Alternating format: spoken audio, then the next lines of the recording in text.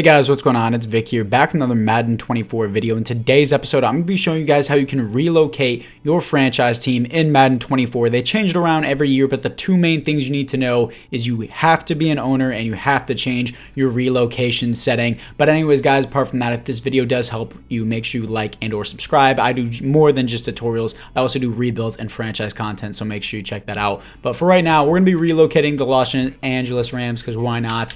We're going to change the role here as you can see, we are a head coach. We need to change the role to owner. It doesn't matter what you name them. It doesn't matter what you pick here. Just pick whatever you want. I'm going to accept it as new owner. I'm not really going to worry about it. In the league settings too, I'm going to go turn off just the, whatchamacallit, the tutorial pop-ups because I don't want it to get in my way. You can also change the relocation setting right here, I believe. If you scroll down a little bit, little bit, you'll see a user only thing. Users only on relocation settings. I'm not going to change it just yet. You can if you want to, but for those of you who have, who have already started your league, I'm going to show you how you do it just in the regular franchise setting. So I'm just going to start this, no cuts, no edits to make sure it's legit. And league settings, scroll down, of course, back to the relocation setting. If we go all the way down here, users only relocation. You can keep it on users only. I'm pretty sure it's already started like that. Don't disable it. You can put on everyone, but if you put it on everyone, the AI will start relocating a bunch of teams too. So make sure it's on users only or everyone if you want.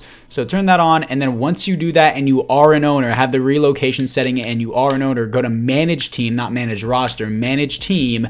And then you're going to go to stadium. If you do not have the relocation setting on, the relocation button will not pop up. Obviously, it's a new stadium, so the rating's a 99, but who cares? We're going to hit relocate. And then not only that, don't worry about accidentally clicking on one of these because they fixed that. If you click on one of them, like Houston here, you can be whatever team you want. You can be the Oilers. I forgot. Um, yeah, the Oilers and old Texans team. I don't think that works out for any other relocation other than Houston. You go to Austin. Can you be the Oilers on here? No, you cannot. So you can be the Houston Oilers if you want and make the Houston Oilers come back again, but you can't do that with other teams. There's certain relocations that I guess have certain specific unique jerseys. So I will do that in another video going over all the other videos, but you can go to Alaska if you want. There's a whole lot of new things. Honolulu, Hawaii, Melbourne, Australia, Tokyo, Japan, Paris, London, Dublin, Montreal in Canada, Toronto, Brooklyn, New York, Virginia Beach. I did not know they had a Virginia team.